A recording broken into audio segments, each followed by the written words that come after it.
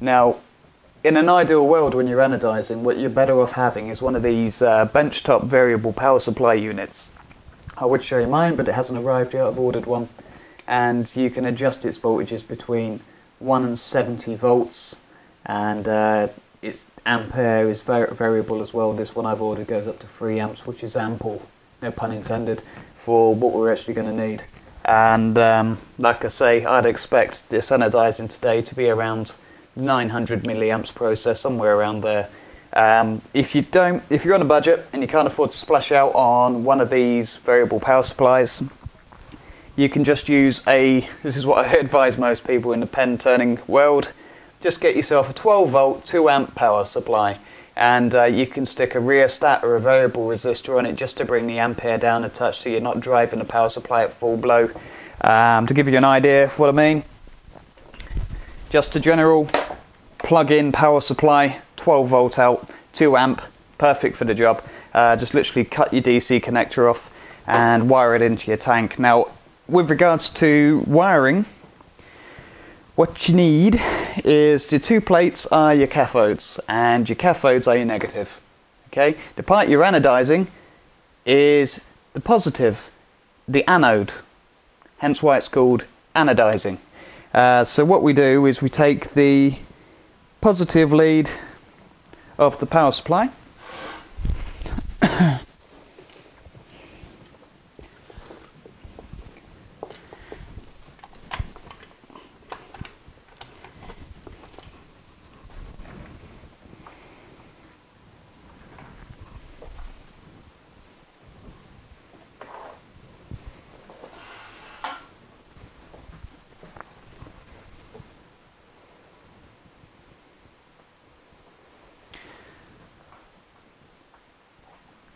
And we connect the positive lead to the positive lead of our ammeter.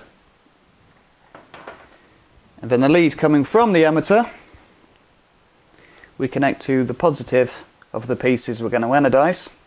Well, I say the positive, we connect it to the pieces we're going to anodize. And the negative of the power supply is connected to these two plates.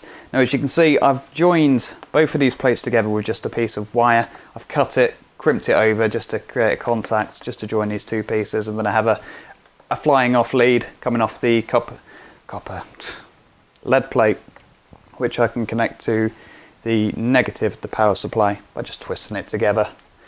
And uh, there we have it. Okay, so um, you got a gist of what you actually need to anodize. Now, one thing what I haven't mentioned is how you actually make the acid bath up.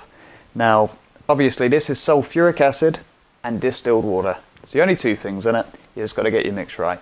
Now, it's not that easy to get hold of pure sulfuric acid, you know, chemistry lab grade stuff.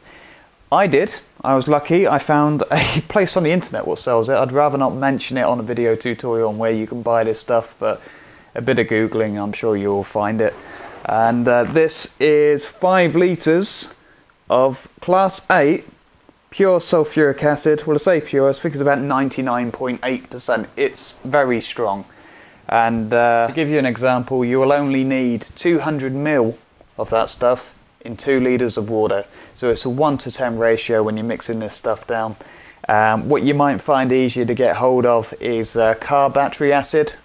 Um, that's sulfuric acid again, and with that stuff you only have to dilute it 50%. So half and half, half car battery acid, and half distilled water, and that'll give you a decent anodizing mix. Uh, but like I say, if you've got the pure stuff like I've got here, only 200 mil to 2 litres of water.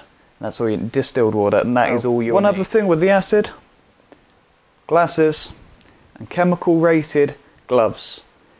You don't want this stuff on you. Uh, obviously, it burns. Half of the time, you don't even realise you got it on you because it splashes around and things. And when you're mixing your acid tank, um, always add acid.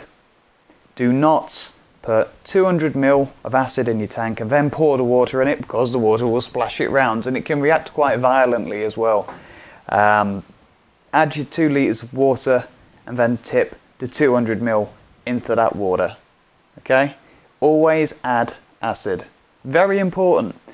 When you do this, a chemical reaction will begin to occur and the temperature of the bath will rise a lot. The solution, when you put your hand on the side of the tank, will be hot.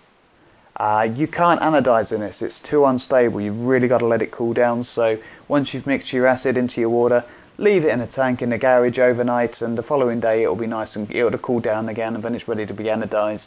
If you try and anodize in an electrolyte which is still hot in temperature like that, it will flash. And when I say by flash, you'll end up with pitting on your pieces where the current's too high. It, it's just too powerful of an electrolyte. So let it cool down overnight, come back the following day, perfect for anodizing. You can carry on reusing this providing you keep the solution clean. As long as you don't start getting other metals in there contaminating it, otherwise you'll end up just flushing it down the toilet, which you can do with sulfuric acid by the way. Sulfuric acid is used to unblock drains, so you can dispose of it by flushing it down the toilet. And uh, yeah, there you go. Okay, so um, as I showed you earlier, we have a jig. Now, some people when they're and they just hang the pieces on a piece of aluminium wire which is bent into a hook and they slide it on. Works fine, sort of. Um, if you're using wire like this, now this is aluminium welding wire, it's not pure aluminium. So if I was to bend a hook in it and hang the piece onto the hook, it will start anodizing. But what you'll tend to find is because it's got other alloys in it, you'll get like a crustation build up along this aluminium and it insulates it, stopping the actual piece you've hung on it from actually making contact anymore and it'll stop anodizing prematurely and you'll go and put dyes into it and it will fail because it hasn't anodized long enough and you'll start getting failures left, right and centre. So my way, now this is just my personal preference, to guarantee I do not get failures through contact is I take the extra time and I turn a jig. Okay, I'm not a believer of hanging it on wire. I just think it's uh, asking for too many recipes to go wrong. And with the time we spend in making our pens, you may as well spend an extra 20 minutes actually turning a proper jig to mount everything on. And what I do is I take a, an old scrap piece of aluminium like this and I turn one end down, which I'm going to slide the cap onto and I turn the other end down so I can slide the full body of the pen for and you notice you've got a step here. Uh, that's so I can slide the centre band onto it. Uh, I drill a hole in the side of it which is to the correct diameter of the custom finial. And I can just push that into the hole. A little bit smaller so it's a tight fit. Like I said again I don't want things pulling out. Um, I've drilled a hole in the side here to push this piece of aluminium welding wire straight into and again that's a nice snug fit so I don't have to worry about that falling out. So uh, let's get the parts mounted onto this. We'll get them in the anodizing tank and we'll leave them in there for about an hour.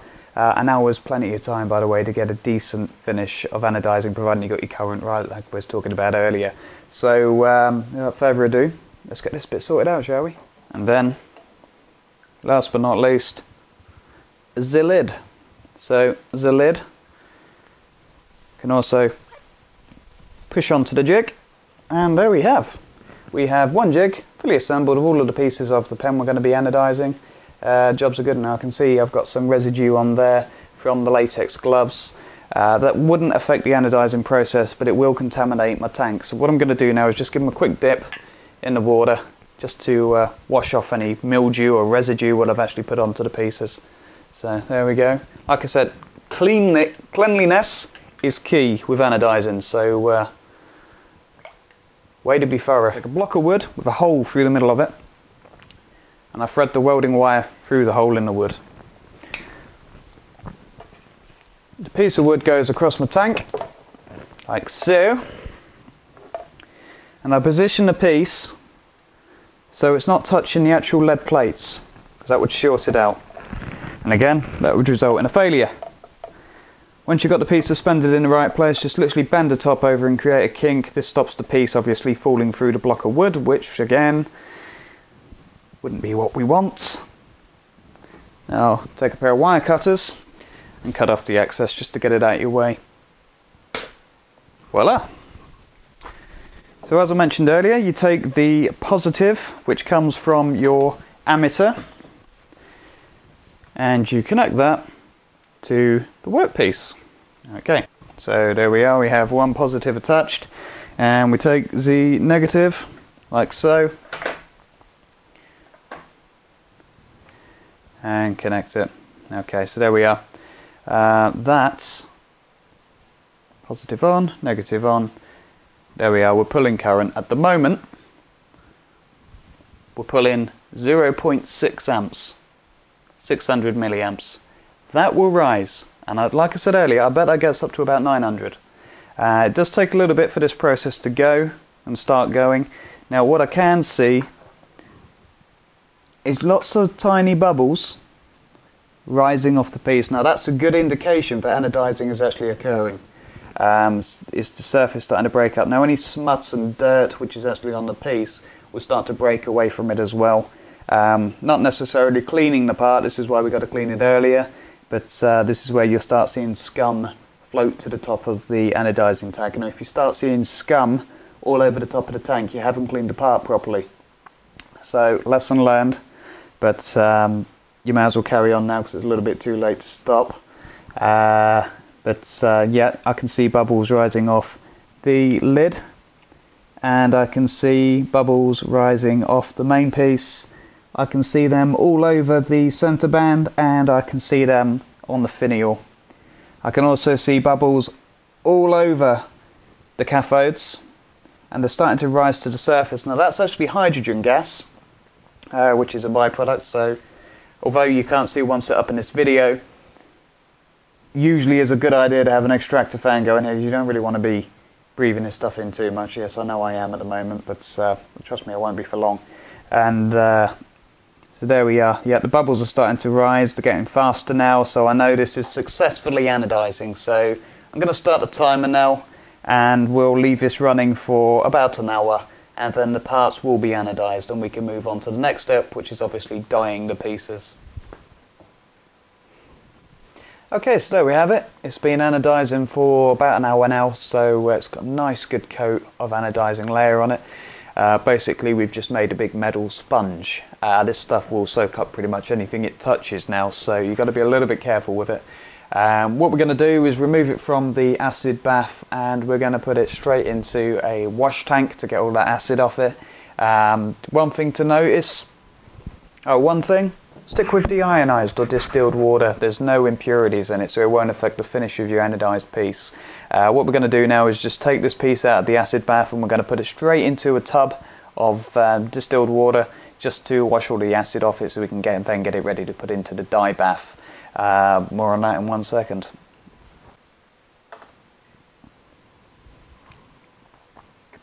Now, before you lift this out the tank, empty the acid out of it because think about it. Got a tube here, we blocked it one end, what's going to happen when I tip this? Yeah, we don't really want that all over the workshop. Okay, so now, like I was saying earlier about the crustacean, you see the black mark on the actual aluminium welding rod here. That, if that was just the part hanging on that, that would have broken the contacts and you would have had a incomplete anodized process and uh, you'd have been left starting all over again really. You can strip off part anodizing using caustic soda but it's, it's a lot of work because you're going got to polish the piece back up again. So what we're going to do is anyway is just uh, wash this acid off. There we are. Nice little clean for the piece. Get all of this acid off it. Now again, we don't want to be touching this piece because it's porous. We haven't sealed this layer yet so it will soak anything up. And here we have my uh, Sanodye Blue and this is what we're going to be using for the anodizing process today. We just uh, remove this lid, a little shake to get all of this blue dye off it, I don't really want that everywhere. And uh, what we'll find inside here is a heater, That's bubbles, which uh, this has been on for the past hour while the piece has been anodizing. And um, basically it's just bringing the temperature up to about 30 degrees centigrade and that's an ideal temperature for an anodizing uh, dye bath. It, it uh, helps the uh, dye uptake of the actual piece. So uh, nice warm temperature with that. We're just going to lower this part into